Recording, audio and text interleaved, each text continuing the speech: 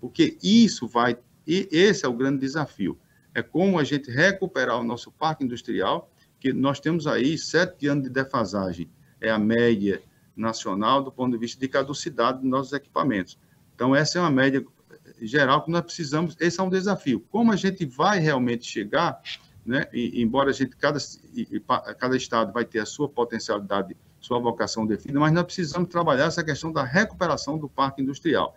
E, evidente que incluir dentro desse, desse momento essas, essas é, é, é economias, a, essas temáticas, a verde, a economia circular, né, a própria economia do mar, nós aqui no Rio Grande do Norte, nós começamos, é, nós estamos, criamos agora o terceiro cluster tecnológico naval do Brasil, né? Tem o do Rio de Janeiro, Santa Catarina e agora o nosso aqui, exatamente para estudar a economia no mar. A questão da logística, a questão da pesca, né?